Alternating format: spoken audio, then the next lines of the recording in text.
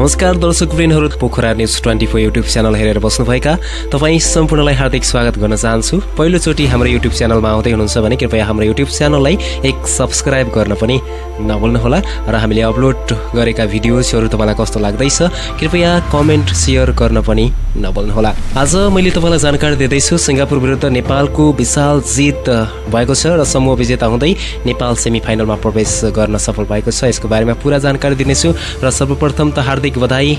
Team Nepal र under nineteen eastern Asia region semi फाइनलमा प्रवेश गर्न सफल भएको छ र सम्पूर्ण टिमलाई हार्दिक बधाई ज्ञापन गर्न चाहन्छु।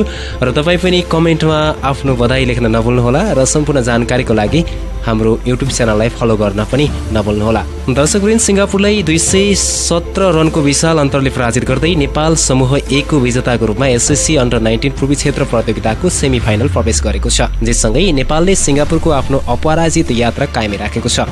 प्रतियोगिता अन्तर्गत नेपालले कयौँ रेकर्डहरू पनि बनाउन सफल भएको छ। नेपालले पहिलो खेलमा चीनलाई दस विकेटले पराजित गरेको थियो।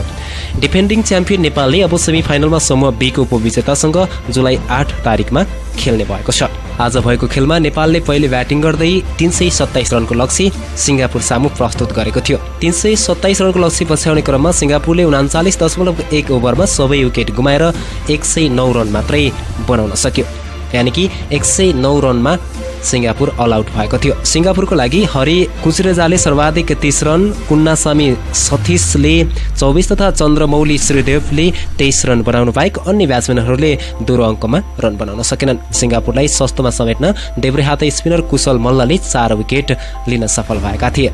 भने तिलकराज भण्डारीले दुई विकेट तथा सागर ढकालले एक र रसिद खानले एक एक विकेट लिएका थिए। चार विकेट लिने क्रममा कुशलले सैतिसौँ ओभरको छैटौँ र सातौँ बलमा विकेट लिएका थिए। अम्पायरले गल्ती गर्दा कुशलले सातौँ बल पनि गर्न पाएका थिए। किनरा ओभल मैदानमा टस जितेर ब्याटिङ गर्दै नेपालले पचास ओभरमा चार विकेट गुमाएर तिन सय छब्बिस रनको विशाल योगफल तयार गरेको थियो। उत्कृष्ट सुरुवात गर्ने क्रममा पवन सराफ र रित गौतमले पहिलो विकेटको लागि बयानब्बे रनको साझेदारी गर्न सफल भएका थिए। अर्धशतकको लागि चुक्ने क्रममा पवन पन्ध्रौँ ओभरमा आउट भएका थिए। उनले दस चौकाको मद्दतले एकचालिस बलमा पैँतालिस रन बनाउन सफल भएका थिए। पवनको विकेटपछि दोस्रो विकेटको लागि रेडले खडक बोहरासँग एक सय एकतिस रनको साझेदारी पनि गरे। अन्डर नाइन्टिन टिमको लागि पहिलो पटक ब्याटिङ गरेका खडक बोहराले नब्बे रन बनाएका थिए। उनी चालिसौँ ओभरमा आउट भएका थिए। नब्बे बलमा उनले बाह्र चौका प्रहार गरे।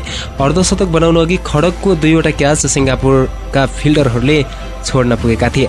खडकको विकेटपछि विशाल विक्रम केसी एक तथा रोहित पौडेल सात रन बनाएर आउट भएका थिए। त्यसपछि रित र कुशल मल्लले इनिङलाई अन्तिमसम्म लगेका थिए। यसैबीच रितले अन्डर नाइन्टिन टिमको लागि आफ्नो पहिलो शतक पनि पुरा गरेका छन्। दुई हजार सोह्र एसएससी अन्डर सिक्सटिन टिमको कप्तानी गरेका रितले म्यानमार विरुद्ध शतक बनाएका थिए। अभिजित एक सय पन्ध्र रन बनाएका रितले एक सय सैतिस बलमा दस चौका र एक छक्का प्रहार गर्न सफल भएका थिए। यस्तै अन्तिममा विस्फोटक ब्याटिङ गरेका कुशलले मात्र तेइस बलमा अर्धशतक बनाएर अभिजित रहे र मल्लले तेइस बलमा एकाउन्न रन बनाउँदा चार चौका र पाँच छक्का समेत प्रहार गरेका थिए। अवश्य पनि नेपालले सेमी फाइनल प्रवेश गर्न सफल भएको छ र सिङ्गापुरलाई सस्तैमा समेट्न पनि सफल भएको छ र हार्दिक बधाई टिम नेपाल र अवश्य पनि एसिया कपमा क्वालिफायर हुनको लागि नेपालले राम्रो प्रतिस्पर्धा गरिरहेको छ र सँगै जित पनि निकाल्न सफल भएको छ। तपाईँ पनि तल रहेको कमेन्ट बक्समा आफ्नो कमेन्ट गर्न नभुल्नुहोला र नेपाललाई बधाई दिन पनि नभुल्नुहोला। यस्तै जानकारीको लागि Pokhara news twenty four YouTube च्यानललाई सब्सक्राइब गर्न र फलो गर्न पनि नभुल्नुहोला भन्दै मलाई बिदा दिनुहोस्। नमस्कार।